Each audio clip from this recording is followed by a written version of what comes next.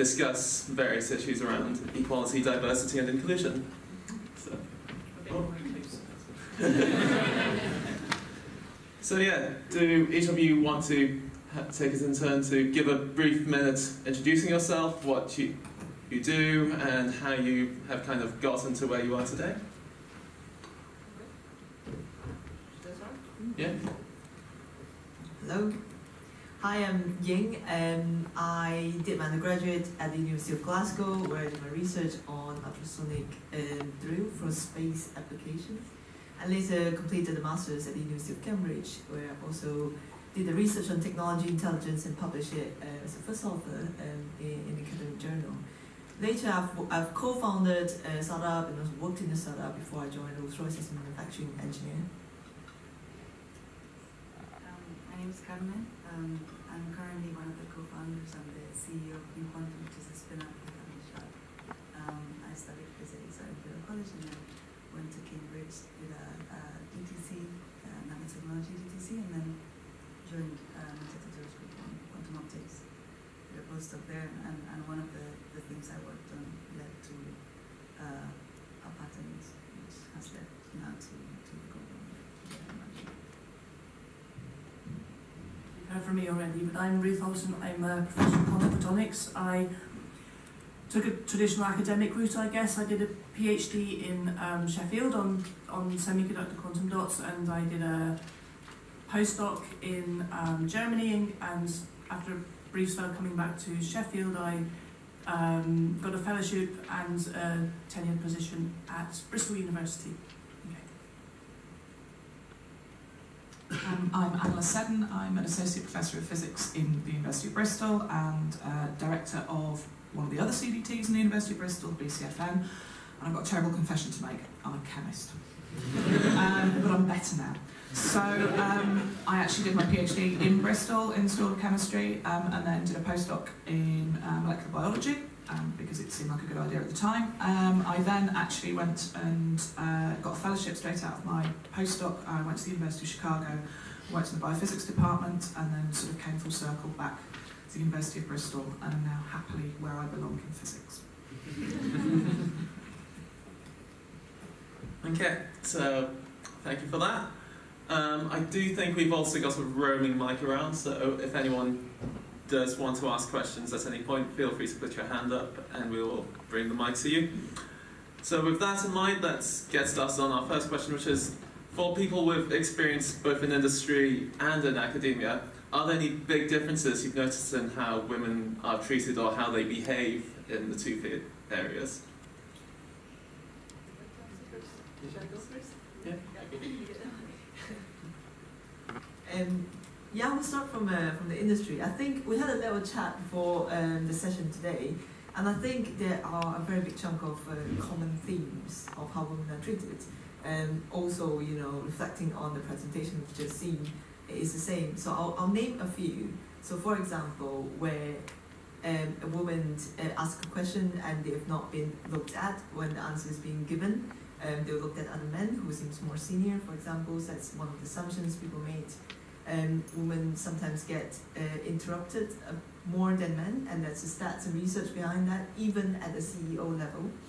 Um, and well, like say sexual harassment, things like um, being touched at, you know, being made uh, comments, banters that might not be appropriate at work. So I think these things are common um, across different areas, whether it is industry or academia, I think.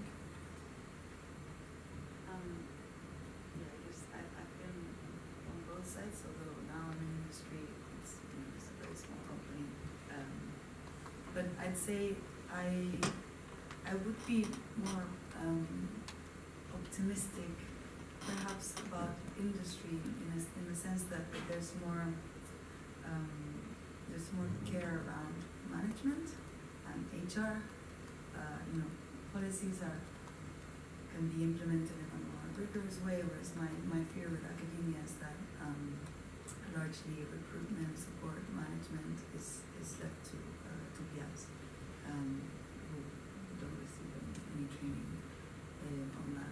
think that's that's the kind of main risk of of, of the structure of academia.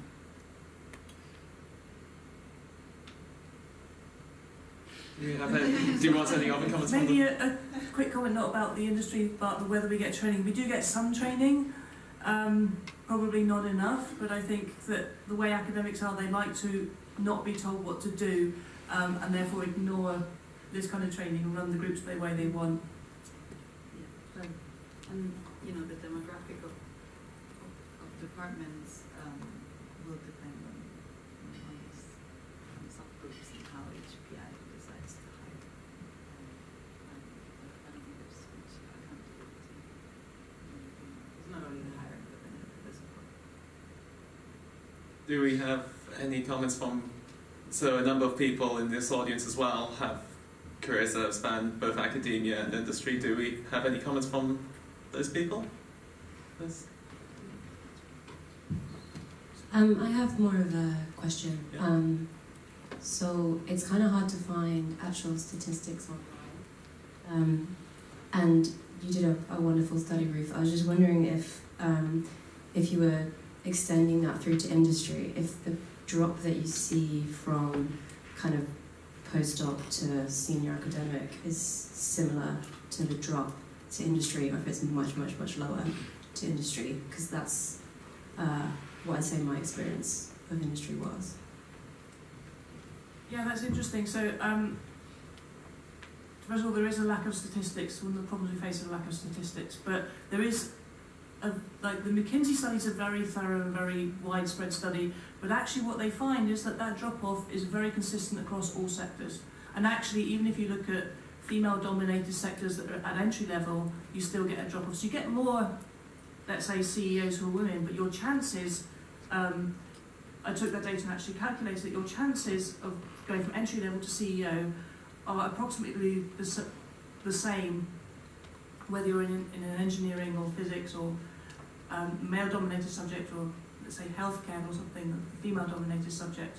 Um, rather surprisingly, so there are, more numbers of women at CEO suite for, for, um, for um, female dominated areas, but, but the chances are the same. Actually, so it's, it's common across the board. I, I wanted to ask, like, add a comment and maybe ask uh, whether this is anyone else's experience, but I feel like in academia, um, the way that the way that women are treated is more is more gendered, is, is more because they're women. Whereas in industry, I feel like um, I, I I'm treated differently more because I'm young. I suppose it, it differs in areas. So my experience is that people assume you're younger than you are if you're a woman, woman because they, they're not used to seeing seeing women. So I think it, it's, it kind of goes hand in hand. I was I was at a, a Royal Society meeting a few months ago where somebody asked me if I was a PhD student. I said no, I'm 42, I'm a professor, and I've been running my group for the past 10 years. So yeah, I haven't had it for that for a while, but that used to happen to me all the time. Actually, there's assumptions being made about you. Is there anything that uh, you want to add? No, I mean, Um, my experience in industry was such a long time ago that I'm not sure my memory's that reliable to be to be honest. But I would back up what Ruth said. This idea that um, there is there is an age characteristic to it, in the fact that so my postdoc supervisor is she was absolutely phenomenal scientist, very very young. So she she ended up in a first permanent position at the age of about 26, and the number of times people said to her, "And who's your supervisor?" And she's there going, I wrote the textbook, I wrote the papers that you're citing. And they just couldn't get their heads around the fact that this woman uh, at this young age had been so amazing. But if she was a bloke, she would just been ambitious.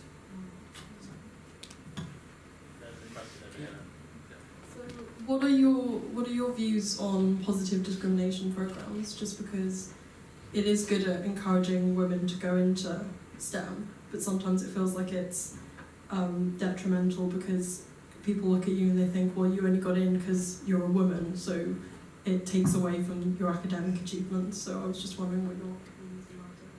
So the way the way I look at it, is it's not about positive discrimination necessarily. It's about if you've got three equally qualified candidates and two of them are men and one of them's a woman, you have to ask yourself, why would I pick this man instead of this woman? all other things being equal. And I think it's more for me, it's about challenging the expectation that, based on the things that Ruth pointed out, you know, the statistics that Ruth pointed out, is that if you have two equal CVs, you want to look at them equally and you want to make sure that actually you're picking people for the right reasons and not because male candidates are getting some sort of implicit bias bump in your head that makes their identical CV actually more attractive. So I, I, I don't like the idea of taking, because the last thing we want is women who are maybe not ready for a position, being given that position, not doing as well as they could do, and then everyone's saying, well, there's a reason women don't get promoted because they're not very good. And actually, what you want to do is just challenge your expectations of what a good candidate looks like and make sure that you're always picking people based on the fact that you know you have this implicit bias. We had Sharon. Okay. I wanted to ask a question about uh, implicit bias because that's been mentioned a lot, and this is purely from my anecdotal experience, but I've actually often had the feeling that it is quite explicit and that it is quite open, that a lot of people know about it, and nothing is really done about it. So I wanted to hear some. And this is mainly from the academic side. I had the feeling, from my personal, very limited experience in industry, that was a little bit more hidden, but maybe you could comment on that.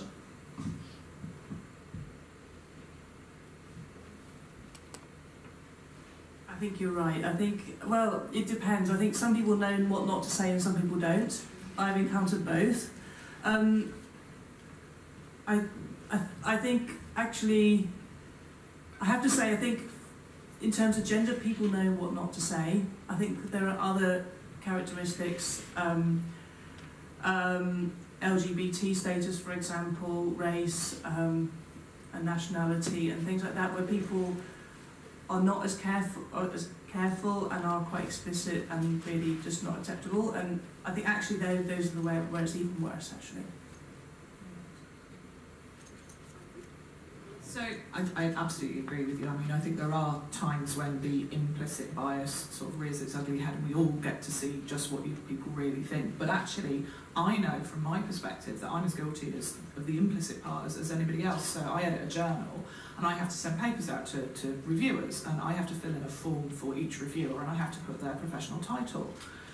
And I realised after about a year of doing this that I was automatically putting professor for the men and doctor for the women.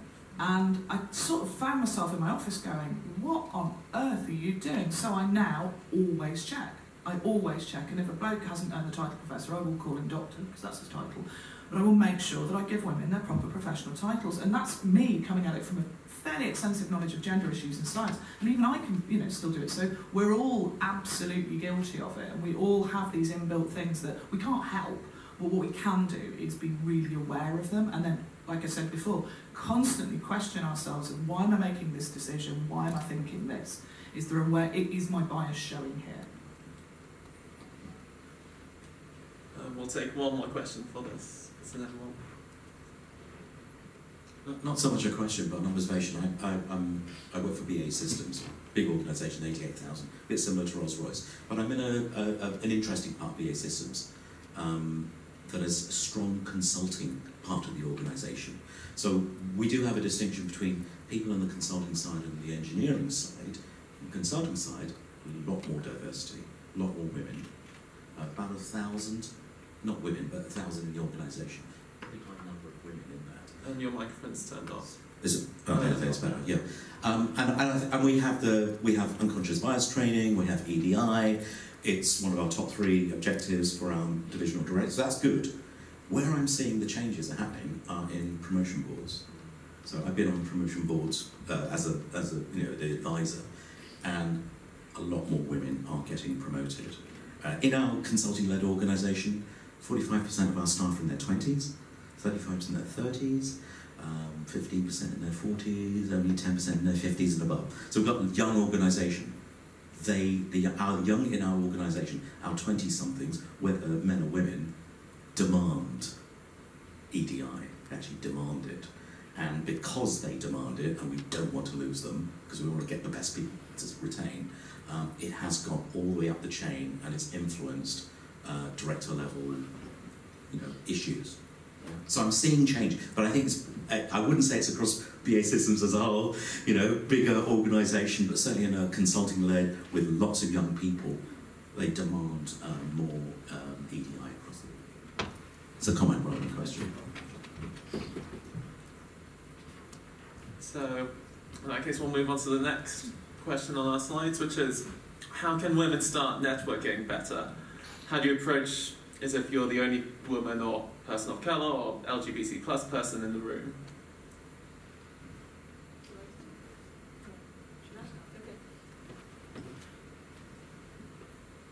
I think my answer for this one is quite simple. I think it's all about building rapport. And if you say what happens if you're the only woman in the room, that's like for me, it's most of the time.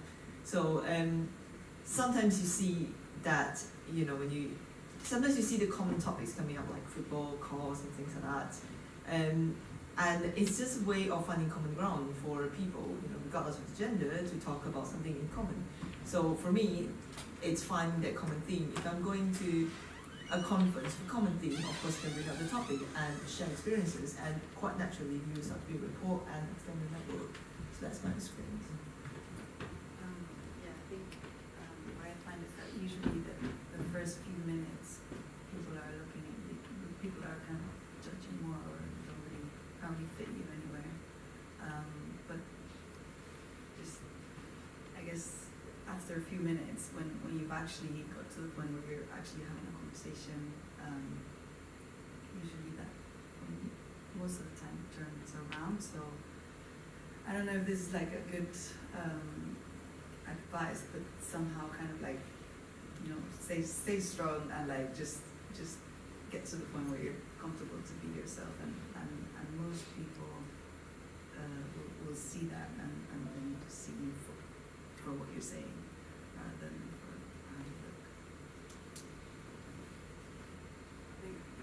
Carmen's advice is the advice I wish I'd given myself ten years ago to keep on persisting because it's true. If you, if, if you, if people sort of just dismiss you, if you keep keep on talking to them, then eventually they'll come round. It's true. Yeah. And it may come as no surprise uh, to many of you in the audience that I used to do a lot of acting when I was younger.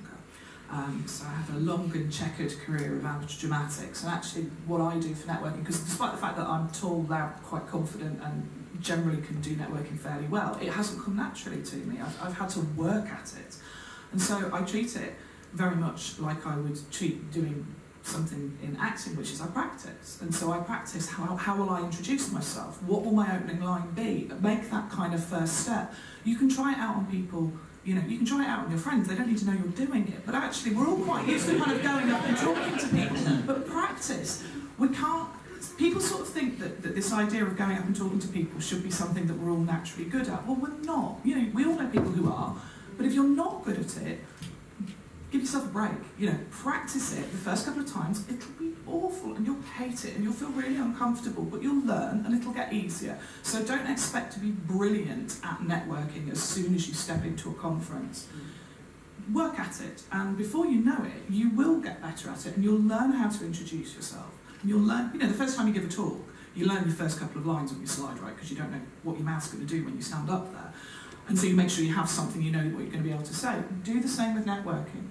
Have a, have a strategy for it. Never go up not knowing what you're going to say to somebody. And then it will get easier.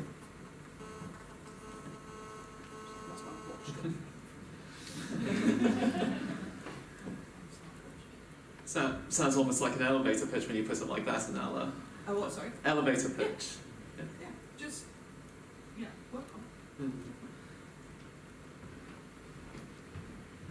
Mm. It's very anecdotal again, but as I've gone through university and masters, I find that my female friends are much less self-assured and much less believing in their own ability when it often like is far beyond men of because of the climate that's created. What do you think is the best way, which is related to networking well, to instill that sort of arrogance that men often have? Maybe, maybe you can try to answer that one. I think I I agree with you. I see that happening to my friends as well, and I think what, we talk a lot about like implicit bias. I mean, this is this is where it comes in when you you're the only woman walked into the room, try to talk, and suddenly that there's no response. That you can't really build uh, consensus. You can't really get the conversation going. That hurts your confidence. It happens again and again and again. It hurts your confidence. It's not because this person is not good enough. She's equally as good as anybody in the room, but because of things like that, it it it just perpetuates um, the confidence in women. So I agree with the observation. I think for me it is that well we need to talk about it. Like we talk about it to raise awareness so people can know it's not them. Like don't blame yourself. It is it is the environment and we need to change that. So this is my take on that. Yeah, I mean, Go it's, first. uh, I think I, I agree. I think that, um, I think it's, I mean, su- support uh, between women of all ages uh, can be quite um, strength, I think. Um, and yeah, just I agree, just kind of being aware that you're within like this wider environment that you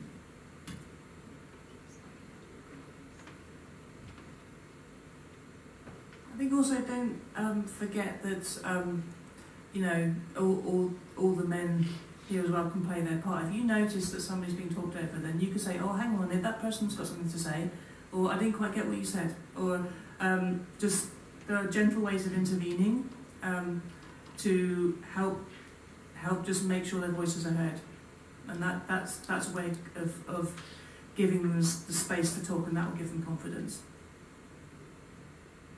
Yeah, I'm, I'm always a big advocate of the fact that you know women don't need fixing. we're, we're you know the, the fact that, that we're talked over, it's that's not our problem. It's it's actually the system is screwed, right? So it's the system that needs to change, and actually everyone can play a part in changing that. And exactly like Ruth said, and also the fact this idea that if you get a buy-in, exactly like you said, at a higher level, and it becomes really important, then that system will shift. Um, but the idea that you know, it's it's somehow that we're broken and that you know our lack of confidence is a problem. It isn't. There was there was an amazing study um, done uh, about about six weeks ago. It was in the news where it said about um, women use less um, enthusiastic and effusive words to describe their research and grant proposals, and every media organisation described it as women use, you know, less kind of, you know, use this underconfident language. Not one of them described it as men bullshit. and I'm like, well, it, you know, can we not flip it and say, well, actually, is it not that women are being perfectly truthful here about their work and being quite candid about what they can do, and the men are just making it up? Um, and, and until we get that shift in perspective, I, I think that's what we really need to tackle. If I can just add something to that, to that comment. Um, uh, I think it's that's to do with, with credibility also, right? Because like men can can afford to bullshit uh, sometimes, and and they'll still be credible with it. Whereas I think that sometimes tone it down, you know, keep it kind of serious because that's the way that it's credible. Um, Um, I just wanted to add something that's related to that. So there's this thing called imposter syndrome, and it's something that I experience like quite intensely. And I'll do things like before I say anything, I'll apologize, and I say like, uh, "This is going to be a really silly question," and I say like, uh, before I show someone my work, I'm like, "And I, I know it's not very good, and it's not done yet, and all of this."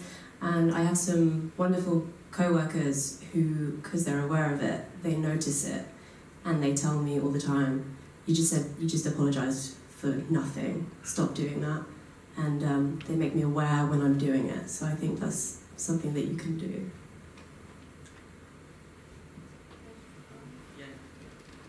Very good comment, but at the same time, don't you feel that a lot of men have the imposter syndrome as well? And I have had so many of my friends coming to me and trying to ask a question, starting with, "Oh, sorry, this is a silly question," blah blah blah. So I think it's the imposter syndrome is real and it happens to everyone in the industry and in the academia. I, I would say that it's not just limited to women, obviously, like there are a lot of other people that feel it, but I think that my gender does tie in somewhat to why I feel it. But I think it's not the only reason anyone would feel imposter syndrome. Okay, we've got a question at the back, I think, and then person in the front, middle here. Um, so it seems like one way to fix this problem is um, that's now disappeared is to ensure, if we can, that uh, problem solved. I did it. there we go.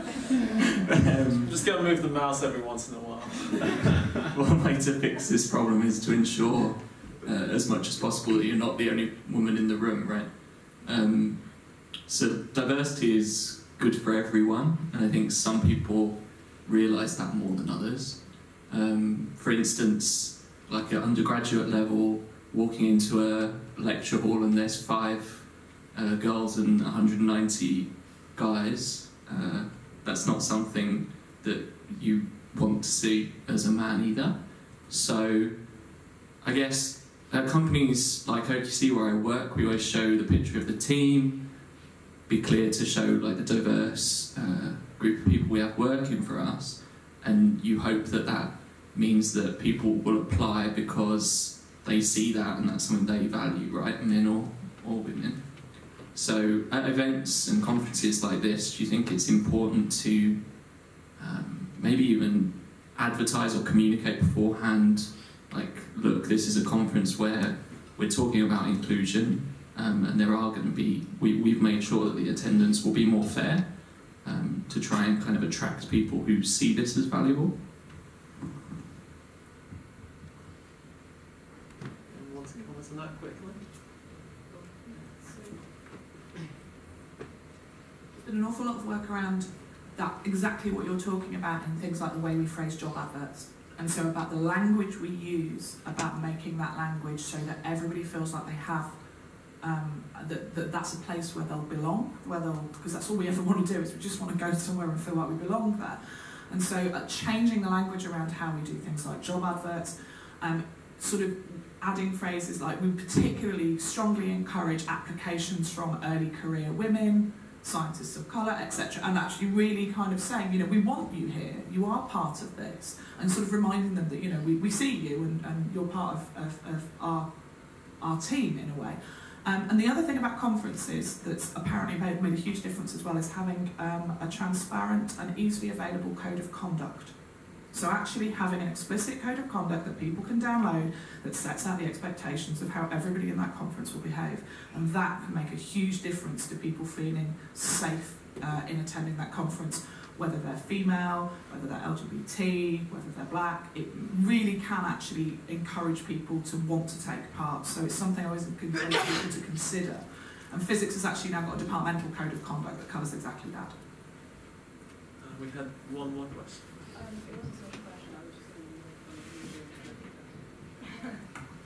Um, in terms of what you guys are saying about imposter syndrome and um, men also having imposter syndrome, I think the thing about EDI, the reason why we don't hear so much about men having imposter syndrome is because there isn't as much focus on mental health, and I really don't think EDI can succeed without coupling it together with mental health, and especially in academia, it's a massive misnomer that women they can also curb empowerment of women and men can also do that to men.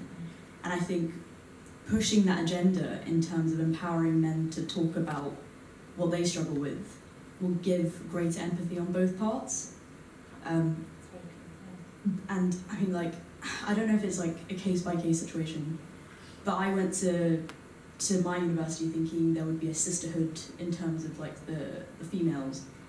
And because of the system, I think it just messed with everyone's head so much that we became so much more insular. And it wasn't a sisterhood at all. If anything, the women were more competitive against the women and not their male compatriots at all. So yeah, and I think it's it's to like encourage both parties to talk about everything. Just keep talking. Um, do we want to, anyone want to provide any comments on that? Um, yeah, it sounded like we were very much in agreement there. Okay, so we'll move on to the next question, which is what are good ways of dealing with harassment or discrimination in your workplace, and who should you reach out to if you experience it or see someone experience it? Um, I'm still thinking. Okay. Um, I'd like to say uh, there's a very simple solution. Um, um, sometimes it can be very difficult to deal with these situations because you're dealing with somebody often that you might be working with every day, for example, or it might be somebody in the wider community who's very senior and well known. Um, and it can be then difficult to um, be taken seriously, but the first thing you do is make a, I, I think a lot of women don't take it themselves as seriously, first of all, as they should. Um, I remember as a, as a you know, a PhD student, a junior academic, a lot of stuff happening to me and just thinking, okay, this is normal, I just got to put up with it. And I look back and think, my God, it was really bad. It, and even my, you know, my, my, my former kind of cohort of PhD students said, we were really bad, weren't we? I went, yeah, you were. um, and, you know, all sorts of stuff happened. Um, and I, I think actually taking yourself seriously is the most important thing, and then you can make a decision about whether you um, report it. Um, and I would say go to not necessarily to your supervisor, but to um, HR if you're staff or if you're um, a student. Go to um, there'll be a designated person you can go to within the department. Okay, and make sure that that it's taken seriously. It's also good to talk to somebody probably senior female that you trust because they like, like as we have seen they've probably been through it before and know of other people happened to and can help and provide moral support I hope. totally agree with that, and I think um, I think the, the only answer uh, in response to harassment and sexual harassment is zero tolerance, and anything that's less than that is not enough. And it has to come from from supervisors and from the, the people at the top. It must be zero tolerance. There, that yeah, nothing else will be. I agree with that. I think the first thing is to not silence yourself, like you said. Um, and there are multiple ways, I'm sure, like in universities or in companies, there's always an anonymous helpline or a co- uh, ethics line and things like that that somebody can call. Sometimes people are not sure whether that's, um, you know, something they want to bring up or not. But bringing that up in, you know, whether it's helplines or talking to people doesn't mean that you, you have to press charges or things like that. You know, the first, the, I'll say the first action is you start talking about it, and you can always discuss with uh, mentors or, or even even an anonymous helpline. That's it for me. So. Maybe Annela can comment as well, but I think codes of conduct go a, long way to stopping this happening in the first place. Yeah. Um, I think it's so one of the things as I get sort of you know older and start to look at what my students are experiencing, the more I kind of get quite activated about things like this. So I think there are informal ways of reporting um, discrimination and harassment, and I think they're great. But I think if you work somewhere where there isn't a really obvious formal way of doing it, you need to start making a noise about that and say, we demand that there is a transparent method to report this. It has to be written somewhere where everyone can see it, and everyone should sign up to it. So we're quite lucky at Bristol that we have uh, appropriate behaviour advisors who you can go and talk to if you're not sure about how to do this. I've gone on behalf of other people who've reported things to me and I've said, how would we deal with this situation? And they've given us guidelines and it's been really useful. There are online reporting tools. They were started at the University of Cambridge a few years ago where you can anonymously report um, and you don't have to give your name. Of course, that has pros and cons. Um, but there are also formal reporting processes. If you do happen to end up working somewhere that doesn't have that, I think it's the kind of thing that you can, you know, you, you can really actually make a huge change in an organisation by saying, look, this is what we need for the benefit of everybody. Because it isn't just the women, you know, men are bullied as well, um, LGBT people are, are at risk of bullying as well. And actually having a process that everybody goes, look, you know what it is, that can actually really help. Any questions from So, the and if audience? you're and if you're a guy, you can demand those things as well. It doesn't have to be the women. Please, please do it. They'll listen to you. Yeah. So often I think it's quite easy to downplay micro, downplay these kind of instances of harassment and discrimination that, and think that it's not quite worthy of reporting. You know, things like microaggression and, or, yeah, other kind of issue is how do you kind of, at what point should people start reporting that, at what point should people start reporting that, that kind of behaviour and how do you advise people on that? On like the point at which you start trying to report it or raise it or speak with someone about it. Any thoughts? I think that's a tough one because I think people, everybody has a different breaking point. So everybody, so for some people, because of their past experiences or, or how they're feeling at the time or their mental health, they might not actually, you know, they, they can feel, start to feel very uncomfortable in a situation, maybe earlier than other people would do. That doesn't make either situation right or wrong.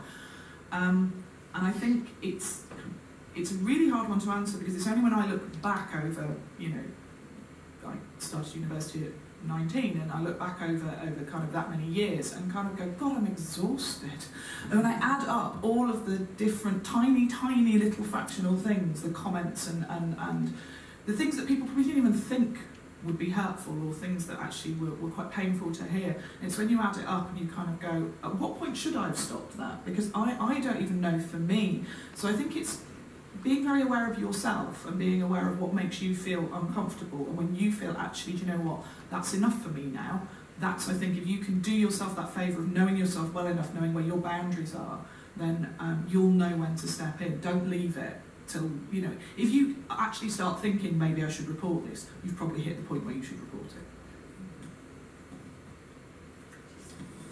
Any further points on I think, um, well, just just small comment on this. I think this is where um, you can be a very early uh, on various sorts of points. You can just, you know, if you see something happening, a colleague saying saying a comment that to someone else might be offensive or, or annoying, you can just you know, nicely say to that colleague in private and take it on yourself.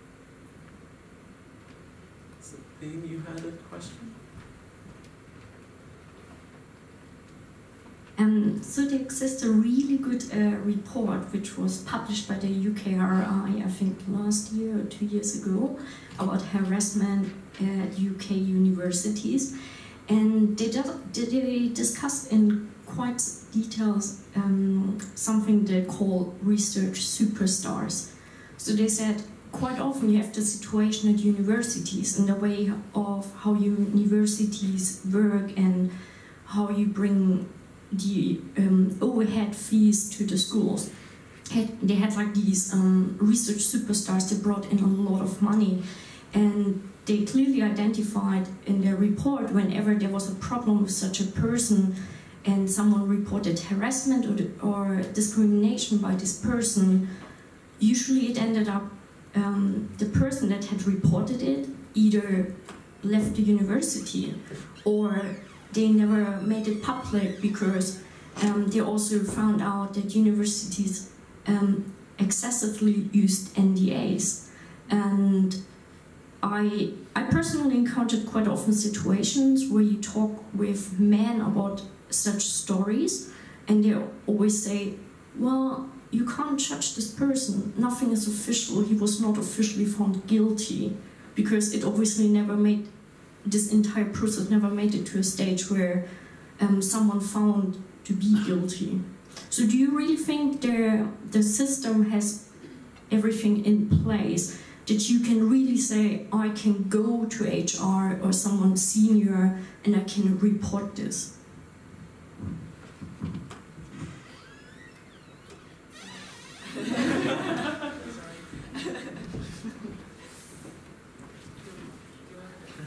I, don't have the answer for that. Yeah, we wish it was everything was fair and above board in university and other employers did what they're supposed to do. Um, I think the only way to fight that is working together and making employers realise that the bad publicity from people finally being found out is much, much worse than losing a superstar. I mean, there have been instances where very, very big stars have fallen, like Geoff Marcy, for example, is a good one. Um, um, and, you know, it's not an easy one to answer. I think there is a lot of institutional bias, and I think, I think also because there are a lot of, to be honest, there are a lot of men at the top who kind of think, ah, it's not that bad. You know, um, it doesn't really matter that much. Yeah, I don't have a good answer, I'm afraid. It's not a good answer and it's not an ideal answer, but I would like to hope that the changes that are being implemented now will mean that the people who are running universities and who are in these positions of power to make these decisions to get rid of serial harassers no matter how much money they bring in, if we have people now who are aware of these issues in 10 years' time when they're in charge, maybe they will make better decisions because at the moment we're dealing with a legacy of people who didn't grow up in a culture where unconscious bias training was a thing and considering gender balance was a thing. When we do maybe have, you know, more women, more ally men in positions of power, then then I think the system has a chance of being able to turn around and say, I don't care what your grant income is. That's not how we behave here, you're gone. Will it happen in the next two years, five years? I don't think so. But will it happen? I think it might. Uh, yeah, I just wanted to concur with that um, last point. So I'm a part-time master's student, uh, so I work for a big listed company in the finance sector as well. And I find that it's quite surprising because in the private sector, as well, I think things have come on leaps and bounds, and it's quite surprising coming back to university and hearing, speaking to female PhD students and hearing about all these kind of like stories about sexual harassment. And even though in uh, university it seems as though um, education seems to be even more prevalent than in the private sector, and I think what was, you know, this will concur with what you're saying. It seems to be about the fact that in the private sector there are heavy and swift consequences that come straight down on people who, um, particularly male people um, in positions of like man, power or management, etc. I just wanted to ask, like, what route do you see there being to implementing that kind of zero tolerance like culture um, in the um, academic world, which I think you know the private sector and particularly large sort of publicly listed companies have implemented quite effectively in the recent years. Put me and Ruth in charge. No, I have to say, I think the reason that companies are much better at dealing with it because they understand the consequences of bad publicity much better. I think it's very nice to think that we might have better people in charge in the future, but people are always swayed by money.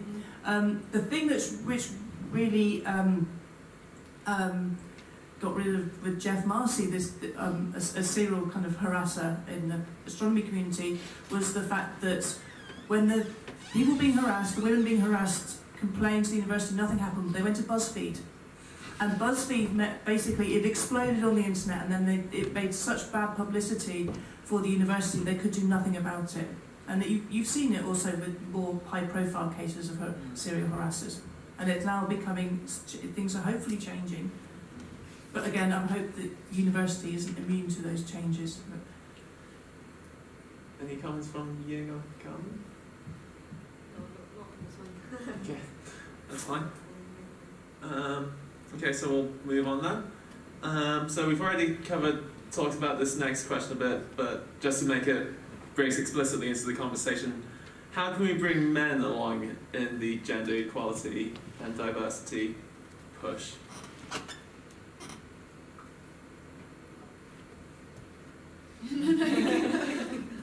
so maybe I can mention some things I've tried. Yeah. Um, so um, as part of this cost action, what what I would do is run discussion sessions about specific topics, and it would things like should we have positive discrimination or affirmative action?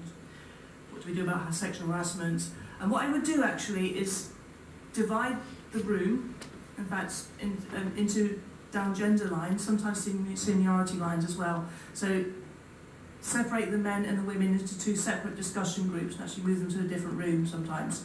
Um, and um, get them to discuss the topic separately. And first of all, people were quite against that. They said it's very sexist to sort of label people divide people. But actually, what you find is that the discussions are very different down gender lines, and it's the those discussions, and in particular, it's also important for discussions to happen, especially in female-only circles, but also male-only circles, because of course, this topic of say, for example, sexual harassment is something which will also cause a lot of fear among men that they'll be doing the wrong thing and they need to actually express those fears and, and to discuss what they think is the right thing and the wrong thing. Okay. The most important thing is to come together again and have representatives from those two groups discuss the differences and the answers. Now I've done this. It, I think it sort of partly works. Um, and I combine that with, say, presenting some statistics. And actually, I did find that, especially the senior men, actually across the board, several, you know, I got a lot of people coming to me and saying, this has really changed my mind.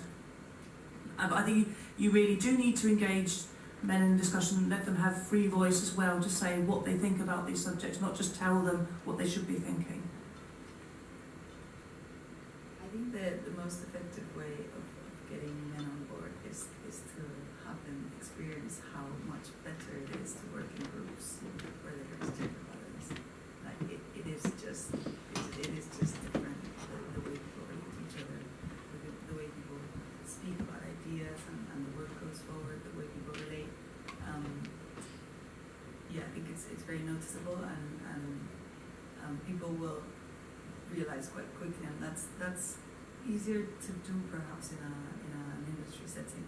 And actually um, last night uh, someone said that to me. So I was in this uh, CEO event and we were three in the discussion there was a, a male CEO and then myself and another female CEO and the, and the guy said to both of us, if I can give you any advice hire women.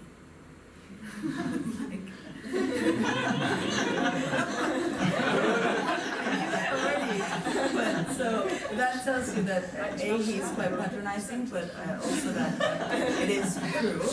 It's it is better. You can see teams working better. I think I've got um I've got a lot of thoughts on this one. Um, because I think gender equality is good for everyone. It's not just good for women, it's good for men too. And toxic masculinity hurts men. I think if we can achieve gender equality as a society, both men and women are freer to make choices. That is my take on it, in short.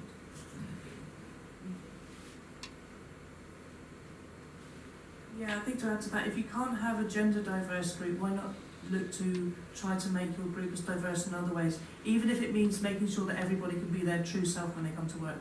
Mm. Don't put, don't impose a particular type of personality on onto your group. I mean, you see some groups which are like little personality cults, cults which is, you know, can be very off-putting if you don't think you belong. And just a small addition to that, it, it really matters like the actual like smaller groups, like the subgroups where people, the people that people spend their day actually working with. It's not enough to look at the overall department or, or even uh, research group. It's, the subgroup that, that has to be um, diverse to that level.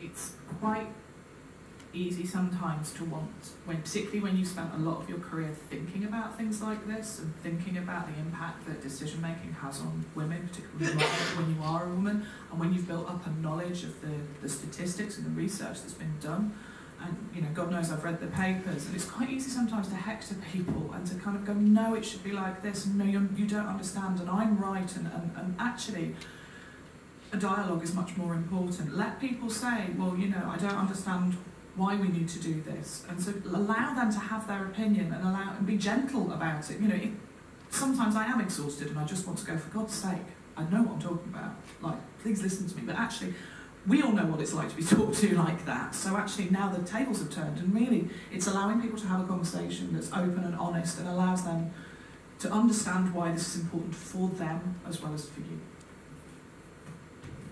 just to, if I want something to add to that, um, um, what I found in having discussions in this cost action was that there's a community of, of let's say, men at the sort of postdoc level in particular who are also very fearful about their careers and what they see is a kind of this that the women are getting all the help and they are not and they feel quite resentful. Um, and I can see that the comment maybe about yes hire women is, is, is okay that's maybe, the comment should be hire a diverse workforce but men see that and go well you know you've got all these women with the social skills and everything and they, they you know and and like um, all these different you know they're much better at so many things. I'm good at something technical and like I but I don't have all these other attributes. How am I going to make it? And I see quite a lot of that actually. A lot of a lot of fear among men, and yes, there's imposter syndrome among men as well. They might cover it up by overconfidence, but in general, that it's it's it's sometimes the academia at that level can be quite difficult for everybody, and we have to bear that in mind. I think that, that, that comes, yeah, that comment, academia is very hard, that comes back to the comment about mental health. Um, like, is so prevalent in academia, they, people struggling with mental health problems, and it just, it just needs to be part of comfortable conversation for people to feel that they can open up, um, open up with, they can help society.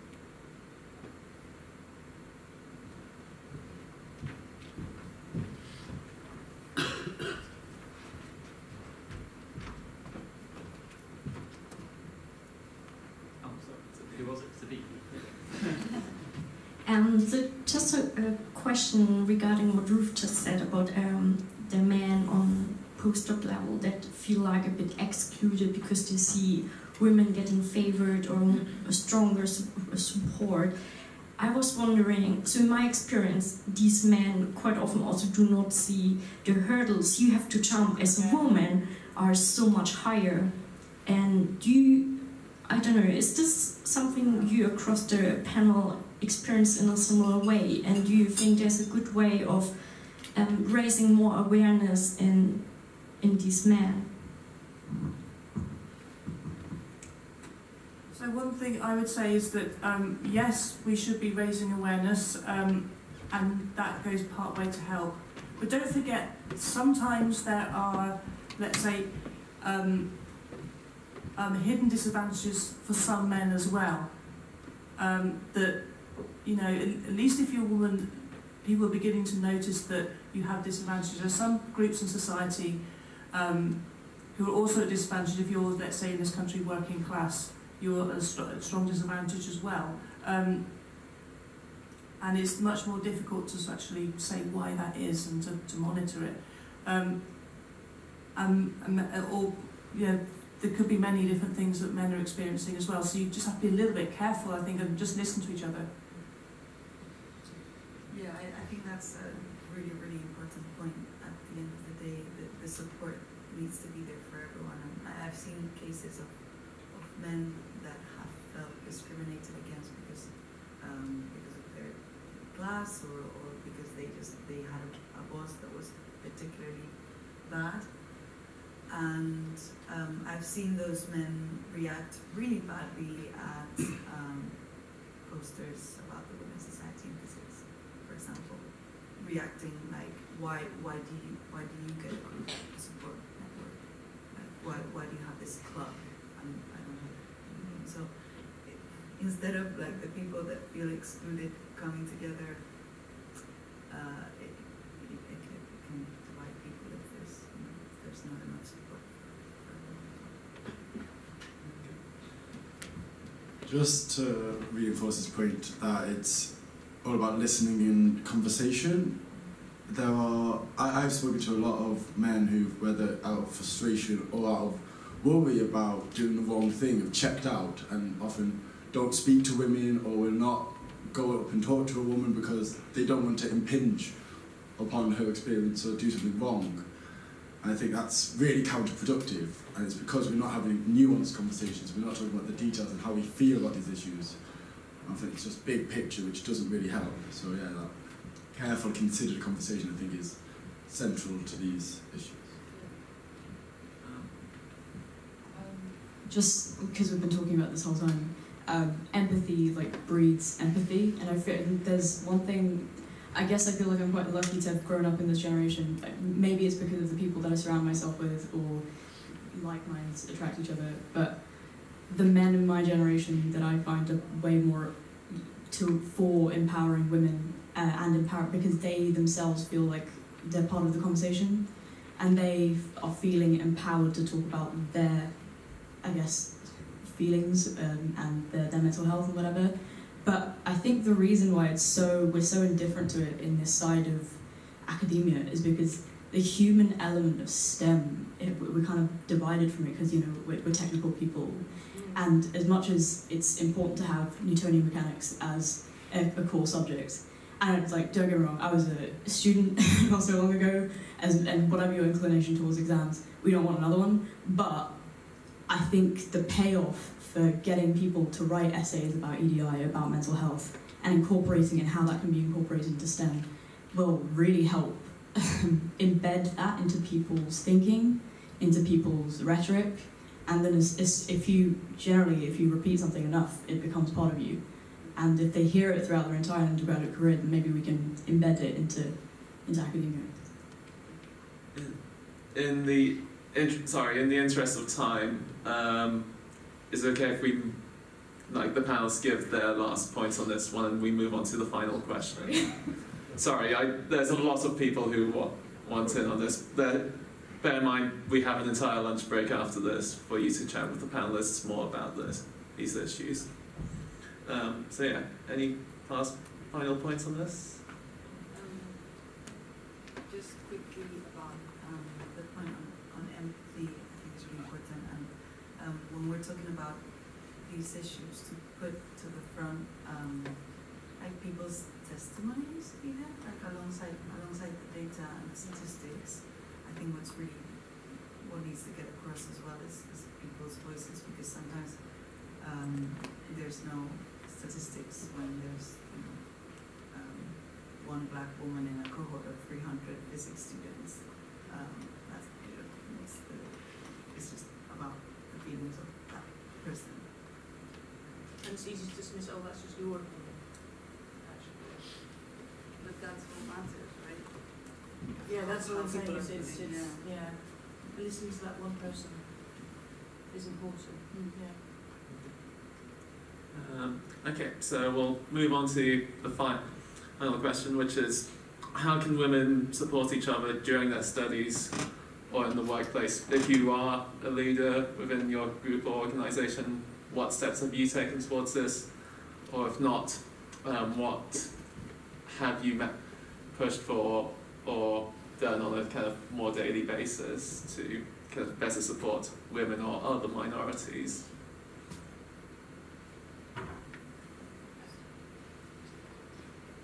Um, so within our Centre for Doctoral Training, I've been really proud that over the last 10 years um, we've got a 50-50 gender balance. Now, don't ask me how we've managed that. Excellent, keep asking me how we've managed that. I don't know. Um, but one of the things that I do think that I've tried to work on really hard is making our CDT a place where everybody feels they belong, they're safe, and that they have all the tools available to make them the absolute best at whatever they want to be when they finish their PhD. Um, and so I have started doing at the start of every year a little kind of a little talk about my my expectations of me and how I will behave and what I will provide and the support that I will offer. And then I counter that with and in return I would like this, the following things from you as a cohort. And those things include respect for everybody that you work with, regardless of gender, ethnicity, religion or lack thereof, sexual orientation, gender presentation. Like everyone will be treated equally, and we have a zero tolerance policy for anything that goes against that. People know that they can come to me, and people know exactly what my response will be if anything is reported to me. So, um, it's about setting out the stall really, really early and telling people this is a place where everybody is equal and everyone has an equal say. Because I realised that we were kind of doing it, uh, uh, sort of not explicitly, but actually there were a couple of instances where I thought it's really worth hammering home to people that we, we, we all belong here and we all feel we should all feel safe here and we should all feel like this is a place where good things get done and that when bad things happen, you've got support. And I don't regret for a second having done that. And you know, occasionally in the first year, people come in and like, I'm a PhD student, don't need to hear any of this, and they'll kind of roll their eyes a bit. But actually, people do buy into it, and I think it's created a culture where people feel like they can they can speak up. I hope so. Anyway, that's if, if there's one thing I could leave the kind of CDT journey having done, I think that would be it.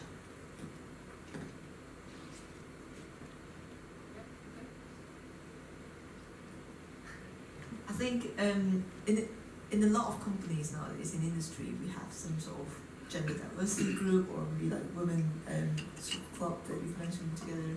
Um, that is a way of supporting women. So a lot of them. So speaking from my own experience when I first started out, um, things that we talk about, you know, being talked over, being interrupted. Initially, I think a lot of people might internalize that and think, well, that's just me. But once you put two women together or a couple of women together and you start sharing the experience, all of a sudden it's not about just it's not my pro- it's not just my problem. It is you know you start to realize a, a lot of you know, all this discrimination as a whole, and I think that is a starting point to first recognize that, and then you know if you put a group of people together, they can start thinking about next steps, they can think about action plans, they can talk, they can get mentoring, they can get sponsorship from senior senior uh, management to push through um, uh, a lot of these diversity initiatives. So I think that's that's my take on it. Um, I yeah I, I haven't been in company for very long, but what I'm trying to do I guess is is just check myself um, uh, kind of hiring decisions. So um, I asked my recruiter to always present um, fifty or diverse candidates, but then it's you know, but then you wouldn't want to choose someone um, not based on ability. Um, and you know, it's like if in doubt, um, they they both do the same. Um, yeah, making sure that um, you'll have someone that they can go to um, that is not like their line manager if they need support. Um, yeah, just kind of thinking about basic like management. Uh, Yeah, I was thinking about this. Um, this question. Um, I don't think I do anything um, explicitly in terms of gender. What I try to do though in my group is just, um, just, and also when I'm at conferences as well, try to, to talk to PhD students and postdocs and just just listen to what they got to say and, and find out what's going on with them. Be in listening mode a bit, and just try to make it clear that everybody can have their own personality, everybody should be expressing themselves and bring, you know, that there isn't one way you have to be. So I, I feel personally that in some fields there's a kind of almost a sort of cult-like thing of you've got to be this kind of person to succeed. You've got to be very alpha male. You've got to be like this. I mean, you know, um, like Silicon Valley is totally like that. And my worry about quantum is that it does feel a little bit like that sometimes in a way that I mean, I came from semiconductor physics generally more, and it wasn't like that in semiconductor physics, but it is in the quantum area a lot more. And I'm a bit worried about quantum because it does have a little bit this Silicon Valley vibe to it, and that normally comes and goes along with a particular type of personality, and I'm worried about that a little bit. So, I'm, I'd like everybody to get the message that they can just be themselves, and they don't have to be this, you know, alpha male, flashy kind of person to be a success.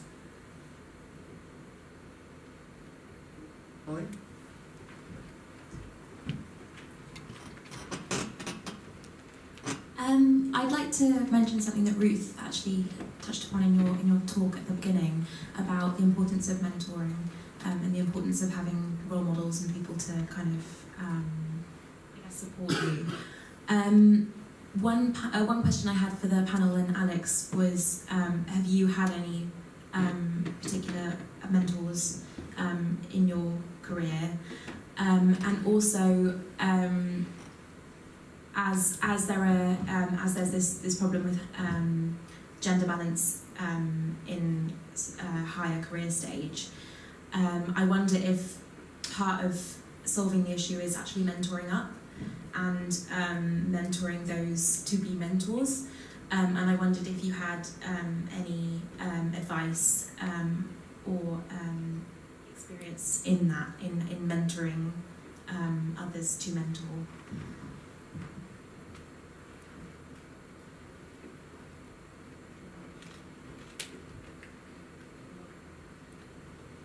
So to the second part of the question, no, I, I've never. It's a brilliant idea, um, but it's not something that um, I've had any experience of. In terms of formal mentoring, um, I've had one formal mentor. It's a disaster. It was an absolute disaster. If you don't get the right person, I mean, it, you might. It's actually can be damaging. Um, this person wasn't a bad person, but we just didn't click at all, and um, I didn't feel that they were listening to me. Um, and I was telling them quite specific things, and they kept kind of coming back to something that I wasn't talking about. Um, it was frustrating me. There's been two people in my career who I think have had the big- biggest impact on me. Um, one is my fellowship supervisor in the US, mainly because from him I learnt how I would never ever run my group. it, it, was it was an absolute masterclass in what not to do. Um, it really was. I came back from that going, if I'm ever in the position where I have my own PhD students, my God, I will not treat them like that. It was it was. I can tell horror stories about how that group functioned. It was horrendous. And then I moved from that into my first role in Bristol, where my line manager was a man who was um, maybe 20 years older than me, and we just clicked. We just we got each other, and he listened to me, and he asked me what I needed, and he asked me what I wanted, and it wasn't a perfect uh, line managing relationship. None of them ever are, but I felt so much empathy from him and so much support, and there is no way I would be in the position I am if he had not been my line manager. He was, and I don't even think he knew he was doing it most of the time, but he just got it. He was, he was really able to understand what I was frightened of and what were my worries and what did I want to achieve, and he just helped me. Um, and it felt really natural. And I think if you're ever going to get a mentor, don't be afraid if the first one doesn't work out, try again, because sometimes you do need to go through a few before you find the one who is right for you. And you'll know when you do. God, it sounds like dating advice. Sorry. um, but you will, and you and actually, and you'll realise you'll realise when it's the right person uh, for your career at that. And your mentor needs will change throughout your career. You'll need different things throughout your career, and different people will provide those. Yeah, thinking about what Annela had to say, I mean, I think I don't have, I've never had a mentor as such.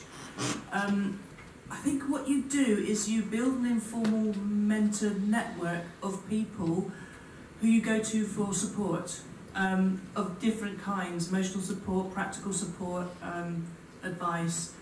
And they probably don't know that they have that role in your life. And it's not always somebody like above you, it can be just. Um, just somebody who's like um, at the same level as you, or even somebody below you, even. That, but they, they might have a particular role in one particular thing. Um, so I think that's much more important to build a support network than it is to find a mentor.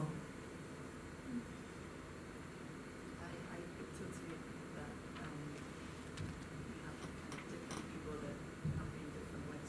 I don't think I ever had a role model as such, or, or really like a one mentor. I think I would have, I would like to Um,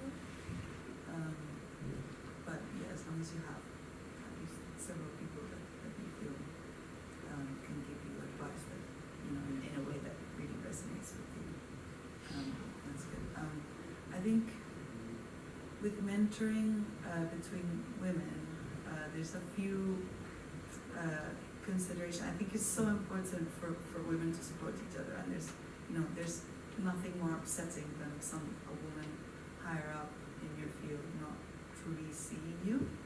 Uh, I think that's quite hurtful. On the other hand, I feel like we do a lot of uh, care and support work, and sometimes, you know, I understand that some women just don't want to, don't feel like it, um, and also don't really feel like they know how to respond back to you.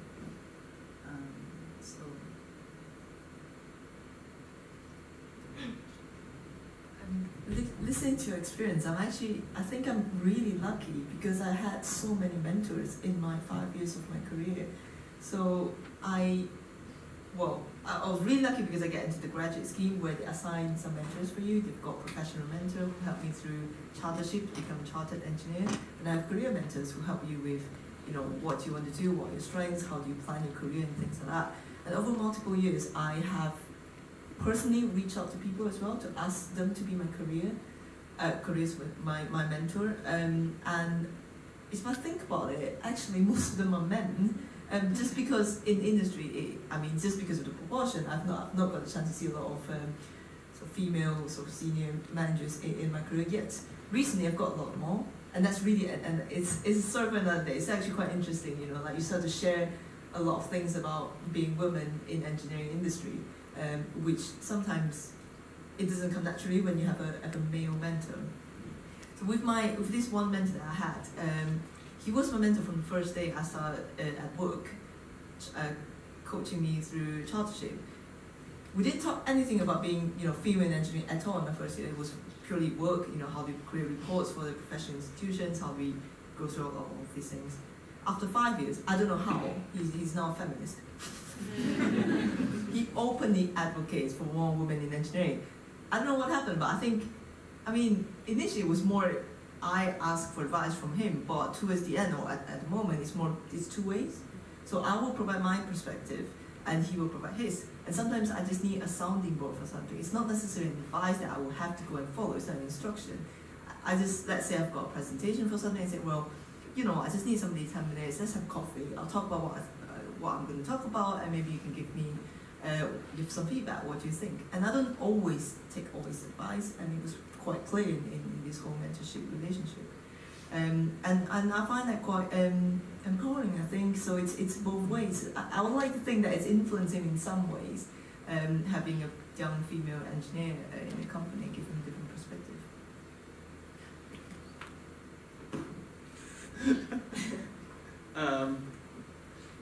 yeah, I guess one of the things I can potentially add to that is I've had mentors across different aspects of my life as well.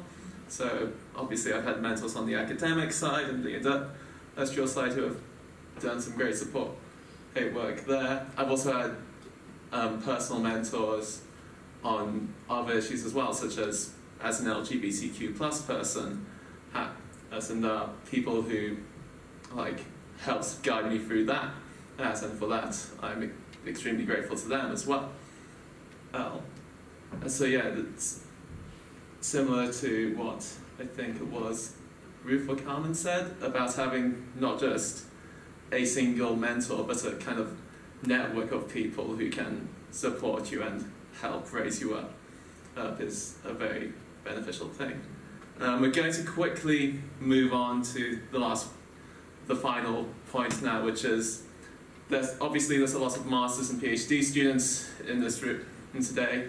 What would when what would our panelists give as like a single take-home advice to themselves when they if they had the chance to speak with themselves at that stage?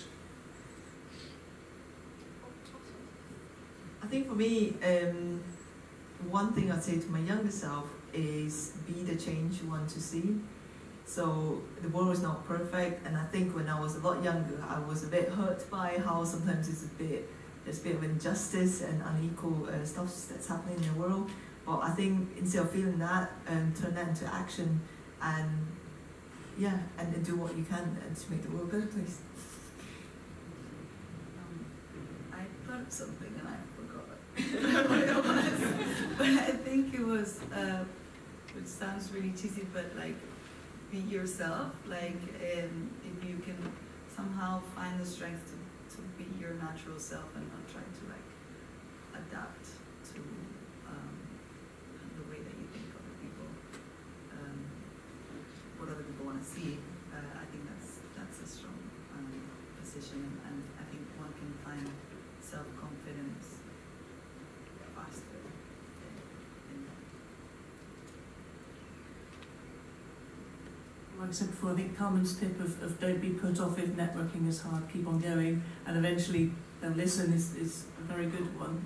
Um, but I think keep on going is good. Um, yeah, I think be yourself is good. Um, I was thinking about this. I think about what I would have done differently. Um, um, I think it's, part of me says I'm really happy with what happened to my life, and I don't want anything to didn't want I wouldn't have gone down a different route. Then I think, well, you know, maybe I could have done some things different. Maybe not keep on joining all male groups, for example. Um, that would have made my life a bit easier. um,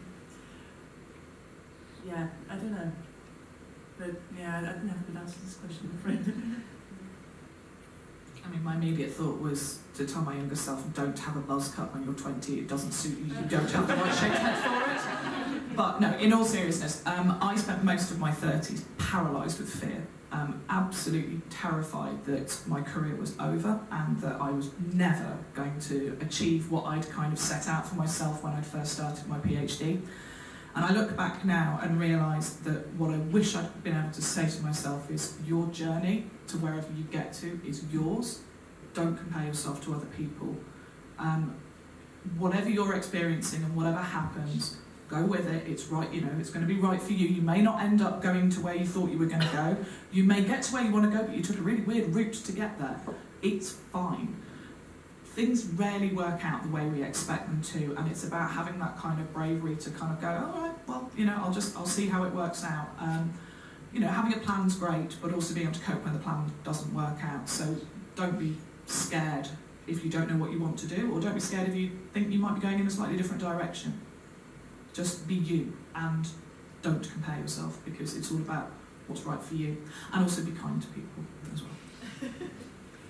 Great. So um, thank you everyone for listening, and can we give one last round of, of applause for our wonderful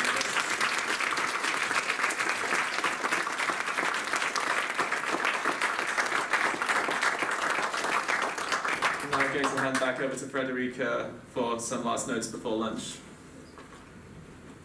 Crystal,